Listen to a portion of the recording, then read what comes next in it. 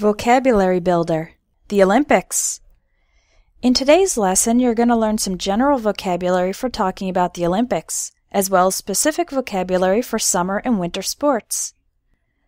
One tradition at the beginning of the Olympic Games is bringing the Olympic torch through the host city, the city where the Games will be held, to light the flame at the arena. The general word for someone who does sports is an athlete. Olympic athletes learn from and train with some of the best coaches or trainers in the world. Some Olympic sports are team sports. The word for the other people on your team is teammates. Olympic athletes compete for the gold, silver, and bronze medals, and a person who wins is called a medalist. During the medal ceremony, each medalist stands on a podium, and the national anthem, official national song of the gold medalist's country is played. When a particular athlete or team is expected to win, they are called the favorite, and someone who is at a disadvantage or who is not expected to win is called the underdog. Sometimes the underdog manages to pull off a surprise victory. If an athlete performs an event better than anyone else in history, he sets a new world record. The Olympics are a chance to demonstrate good sportsmanship. That's a person's behavior and attitude while participating in sports, especially fair play and courtesy. An example of good sportsmanship is an athlete who lost congratulating the winners.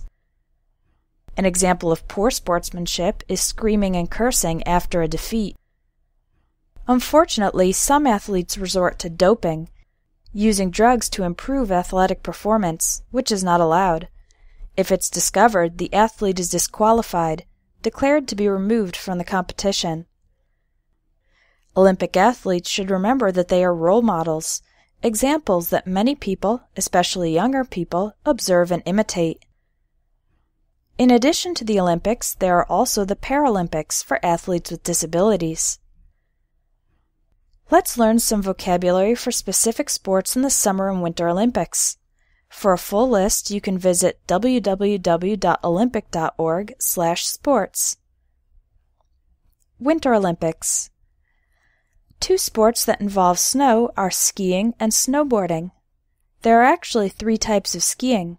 Alpine skiing, more commonly called downhill skiing, is done on a slope, an incline, whereas Nordic skiing, commonly called cross-country skiing, is done on a flat surface. In freestyle skiing or ski jumping, the skier goes downhill to pick up speed, then goes off a ramp and flies through the air. In bobsled, teams of two or four people race down an icy track in a sled.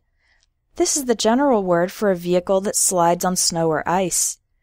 Luge is similar, but it uses a different type of sled with one or two people. And in the sport called skeleton, the athlete lies face down on the sled and goes down the track head first. Three sports that are done on an ice rink are speed skating, figure skating, and ice hockey. Speed skating is a race, a competition where the fastest athlete wins. In figure skating, the skaters perform artistic jumps and spins.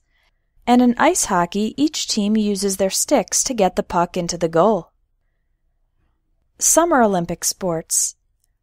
Athletics, or track and field, is a general category that includes many different events sprints, running short distances very fast, hurdles, jumping over barriers, relays, races in which the runners hand off a baton to a teammate to continue the race, as well as jumping and throwing events such as the pole vault, the discus throw, and more. Gymnastics is another general category. It involves acrobatic events such as the balance beam, the uneven bars, the vault, and the rings. Gymnasts also do a floor routine in which they perform various flips, jumping and turning in the air. Three sports done in the swimming pool are diving, water polo, and synchronized swimming. And there are many outdoor water sports such as rowing and sailing. A few more interesting sports in the Summer Olympics are archery, shooting at a target with a bow and arrow, equestrian, which is the art of horseback riding, and fencing, the sport of fighting with swords.